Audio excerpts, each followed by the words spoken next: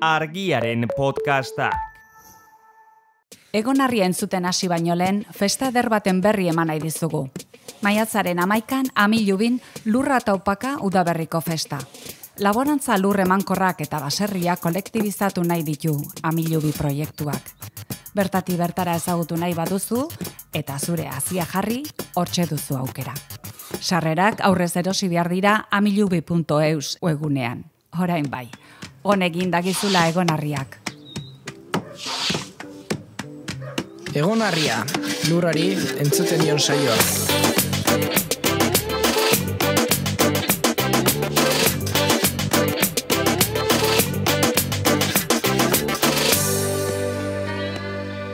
Kaixo denoi, egonarrian gaitu zuen, aste azkenero bezala, helik pilpilan dauden gaian inguruan hitz egiten dugu platotik, eta neri tokian tokiko az hitz egitea tokatzen zaienez, e, zestoara gerturatu naiz, Amilubi proiektu ezagutzera.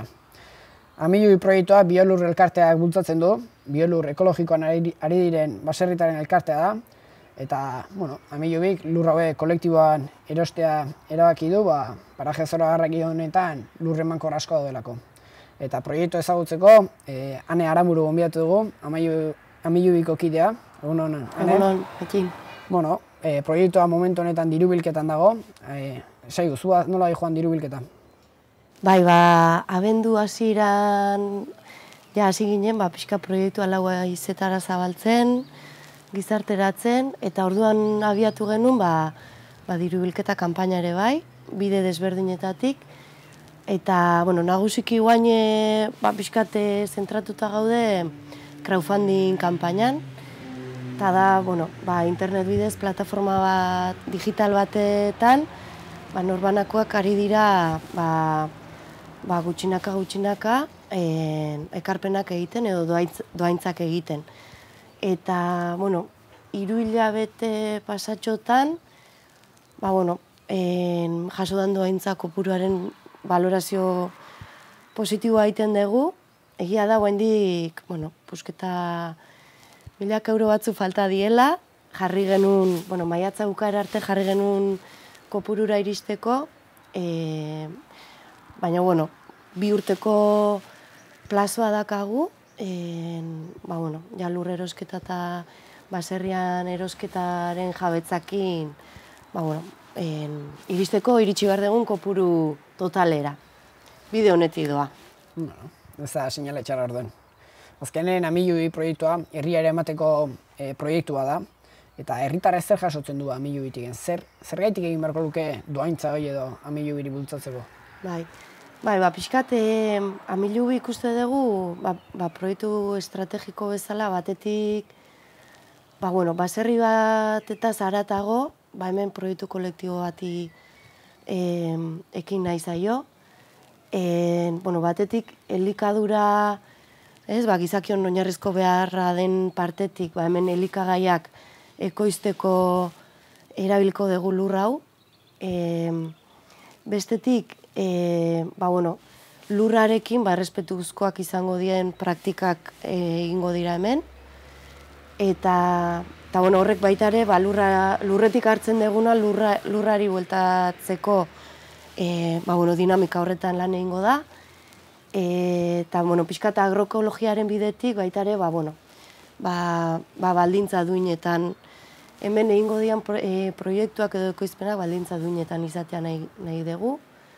Eta, eta bueno, ba, ba, kolektiboak ematen dizun saretze horren abantailak baita ere, ez? Ba, ba, bueno, biolurrek badaka horre sare bat bere atzean, eta, bueno, ba, ba horko beharrak ere erantzun nahi die, eta horretaz aratago ere bai. Amiluik ez ditu sektoreak ditun behar guztiei erantzun bat ez emango, baina bai bultzada bat, eta behar batzuk asetzera iritsiko gala pentsatzen dut. E, aipatu dituzu, beharretik eta nahietik egiten ditula Amilubik lanak, eta bueno, Amilubik ze beharren arabera egin lanak edo.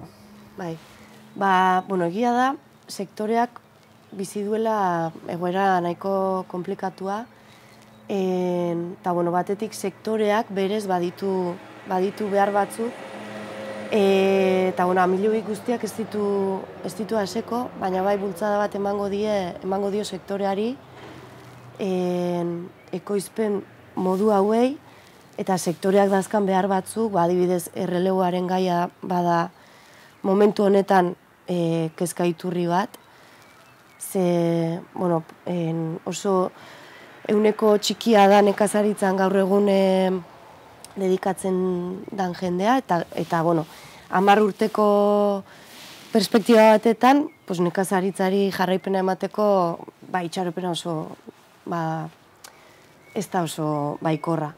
Tordu nor badakago erreleboan arazo bat, ba, ba bueno, amilubin, en, ba, en, az, arazo horri edo ka, kasuistika horri heldu nahi zaio, eta erreleboaren e, gaiari ere laguntza bat eskaini nahi zaio, ba, ba, etorkizun batean, ba, bertan gazte bat instalatzen lagunduz, edo. Eta gero, ba, bueno, biolurren barruan ere, en, bueno, biolurren barruan badaude ekoizle desberdinak. Biolur, bueno, oain dala goita urte sortu zen erakunde bada. En, eredu agroekologikoaren alde lanean aritu da ibilbide honetan. Eta bueno, hor, e, irure hundi gora bazkide ditu, daude ekoizleak eta herritarrak. Eta ekoizleek ere badituzte behar batzuk. E, eta bueno, ba, ekoizleen behar horiek ere ba, ba bueno, bain, jaso nahi dira, identifikatu nahi dira, eta amilu ere guztiak igual ez ditugu aseko, baina bueno, batzuk batzuk behintzat, e, ba, bueno, asetzera iritsi, iritsi gaitezkela, petxatzen dugu. Bai. Bueno, lehen, hemen bueltan gebiltzela esan diazu lurra martxan jartzen hasi zeatela, eta bueno, ba, lurra egiten oain ze erein edo zer lantzeko asmotan zabiltzete. Bai, ba, batez ere, bueno, baratza zainen taldeak ba, hartu du hor, ba, bueno, dinamika edo, ba, azkenin, behaientzako lur oso egokiak dira baratzeko laboreak lantzeko. Eta, bueno, udaberria da, ez? Ba, pixkatu baina inditu uraldi hauekin eta horrela, ba, bai, arrankatu nahi da lurreko lanekin. Eta, bueno, ja datu zen egunetan, ba, ba lur mugimendua, ba, lurra prestaketa lanakin aztekotan gara. Eta, Eta, bueno, datu zen asteetan, ba, egin nahi da porru, porru ereiketa bat, ba, ba hor detektatu dira, e, baratze zain taldean adibidez, ba, landarea lortzeko hemen inguruan, ba, zailtasuna dituzte, en, landare ekologikoa lortzeko. Ba, bueno, ba, behar horri erantzun asmoz, ba, ingo da porru ereiketa bat, eta aurre asiago maiatza aldea edo, ba, hartu eta ba, horren landatzeko asmoa ere badago. Eta, bueno, etorriko dia Azken ez zuek kolektiboki egiten zuen lana, eta kolektiboki lan egiteko nola antolatzen zaite? Bai. Ba, bueno, ba, en, amilu bi proiektura zentratuta, ba, talde eragile bat sortu genuen, eta ja, ba, bueno, urte terdi pasatxo edo talde hori lanean ja martxan jarri zen, ama pertsonako talde bada, eta, eta gero talde eragilen horren, horren barruan ere daude azpitaldeak edo la. En, ba, dao, ba, proiektuen atala lantzen duena, ba, sozioekonomika arloa edo ba, pixkat irubilketa ba, nola martxan jarri eta no, nola berriro indartu, e, ba, pixkat dinamika horiek prestatzen dituna, komunikazioko lantaldea dago baita ere, sorkuntzakoa, eta bueno, hor azpitalde desberdina dazkagu, eta bueno, bi astean behin elkartzen ga eta, eta horre, bueno, saiatzen geha, ba, ba, bueno, martxan jarri dugu makineria hau, ba, ba, ba aurrea, aurrea jarraitzen. Eta baserritar eredu aldatzen dijoan hortan, nola kokatzen zate zuek baserritar gisa, edo bueno, nola ikusten dizu aldaketa hau? Bai, bai egia da horre, bueno, en, jo, biolurrek, ba, azkenin ogoita urteko ibilbide bat egin du, Oain dala, hogeita urte, ba, sortzailei entzun da, eta hola, egia da, bueno, behaiek Holandatik uste ekarri zutela eredu agroekologikoa eta eta pixkat en, bueno, hori sustatzeko lanean jardun dira. Eta pentsatzen dut, bueno, behaiei entzun da, modu, garai horretan en, aldaketa hori itzela erraza egin, ze, bueno, sektoreak beste bide bat hartu zulako eta pixkat, ba, bueno, industrializatzeko joera bat hartu zulako garai horretan baserriak. Eta bueno, nik alde horretatik, ba, bueno, esperantza badakat ikusten ari gehalako, ba, bueno, beste, bueno, beste ikuspegi bat ere, ba, bueno, toki hartzen ari dala, en, ba, bueno, badaude baserritar ekoizle txikiak baita ere produktu, osea, ekoizpen bidera garriak egiten ari dienak, eta, eta bueno, txikitik, ez, e, makroproiektuak egin gabe ere, ba, ba proiektu duinak eta eta interesgarriak egiten ari dienak. Eta pixkanaka, ba, bueno, bada, igual lotura badaukaz zenbait kontutan, ba, ba guain dela, ez? Ba, igual berrogeita mar bat urte, ez? Ezagutzen genuen baserriakin, eta pixkat hori... Da zuek lurra nola landuko duzue? Zein da zuek daukezuen praktikan jartzeko eredua edo, esan duzu, agroekologia? Hori praktikan zer da? Hori praktikan, ba, bueno, biolurrek defendatzen dituen printzipioak izango lirateke, ba, hori, lurrarekin errespetuzkoak izango dien ekoizpen, ekoizpenak egingo dia hemen, en, hortaz aparte, en, ba, lan baldintza duinak en, sortzea izango litzake hemen e, bilatuko dana, e, zirkuitu laburra indartzea dator baita ere amilubi, badaudelako, bueno, basare batzuk em, aia sortuta, eta hori indartu nahi da, ba, milu tokia ere ikuspuntu horretatik estrategikoa da, gipuzkoan oso ondo kokatuta daulako, ez? Ba, zirkuitu labur eta banak eta bidei begira, eta eta pixkat hori izango litzak e, ba, pixkat eredua. eredua, eredua, bai. Gaur, gaurkoz, baserria erosi eta hola esan dezue, eta, bueno, etorkizune behida eguko dituzu ideiak, aipatu duzu, ba, baratza zainen proiektua, eta aurrea behida, ze helburu gehiago dauzkezue? Bai, bai, bai, da, eh, bueno, ja, bai, baserrian erosketara, bi urte hauetan energia gehiena horre hor jartzen ari gehala, ze hori izan gure abia puntua. Baina egia da horrekin batera, en, ba, bueno, esan dugun lantalde horietan, e, ari diela proiektuak lantzen, bueno, beharrak, behar batzuk e, identifikatuta daude, eta identifikatzen ari gea, eta, eta bueno, behar horiei eran, erantzunez, ba, proiektu berriak sortzea izango litzake.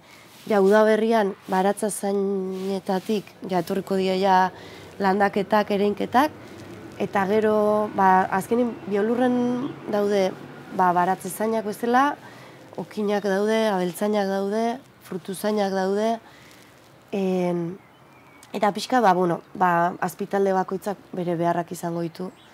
Eta pixka, saiatuko geha horiek modu kolektibo batean en, ez, ba, bateratzea, eta, eta bueno, alden neurrian, ba, horiek amilu bira ekartzea. Okinek adibidez, ba, interesan dia dakate, behaientzako oso, oso lur interesgarriak dira, e, ba, ba, bueno, ba, ba, bai zereala lantzeko, lur lauak die baitare, en, ba, bueno, gipuzkoan zaila da topatzea olako lurrak eta hola, eta orduan behaiek ere interesatuta daude, baino behaien laboren ekoizpena, ba, ba, udazkenean etorriko dela pentsatzen dut. Baina, bueno, hori proiektutako lantaldeak, ba, bueno, jungo da bai, zehazten. Proiektu potolo haukezu esku artean, Eta honekin batea, bisitari bakoitzai eskatzei, anekdota txon bat edo kontatzeko. Ez zuek eh, zuen denbora honetan izango zuen zerbait kontatzeko eta konta duzu Bai, bueno, bai, denbora pasatu da, baina gira esan oantxe hasi lurra hartzen, ez? Amilu bi zebain arte izan da, ba hori, bilera asko bai, e, ba, bueno, ba, lurre eusketa nola, doaintzak nola, eta piskat hori dara diseinatzen da hori, e, bueno, proiektuak gizarteratzen, komunikatzen daula, torren bilera asko bai, eta bueno. Eta bueno, oain bai e, hasi gehala pixka lurrera hartzen, e, nanbilu zentratzen, ba, lurra zapaltzen, eta, eta bueno, ja lehenengo hau zolana egin dugu, e, ba, pixka barrura behira jarrita geure artean, eh? Etorriko die, kanpoa behira baita ere hau irekiak, eta nahi ditugu inolako gauzak. Baina, bueno, hemen e, ba, giro politia, oso giro politia sortu za, lehenengo hau horretan, eta, eta bueno, ja, zigea, baserriai lotuta, lotuta konponketak egiten, eta, bueno, fosa berritu nahi da, e, eta, bueno, fosa berritzeko baitare, ba, bueno, hain irizpide, en, eskiztak ituain nola nizena, matxi? Zain? Nola da? Hor, Fito depurazioa. Bueno, hor- horrea, eski, igual ligai gumo naiz bain.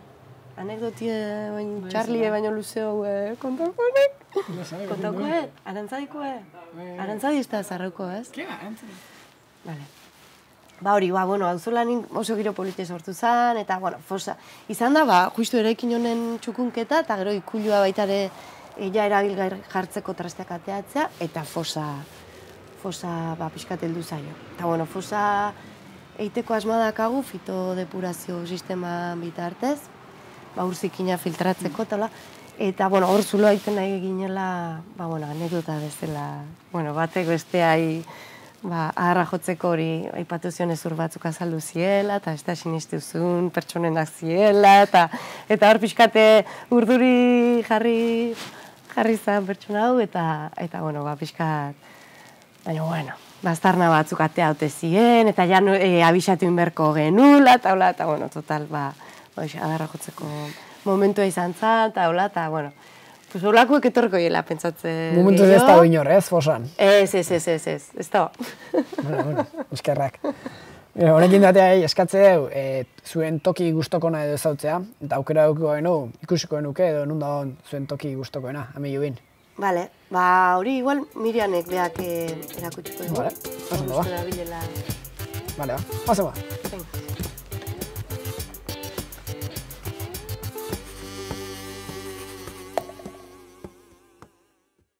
Miriam Maz, koordinatzaia. Zein da zure papera amilubin?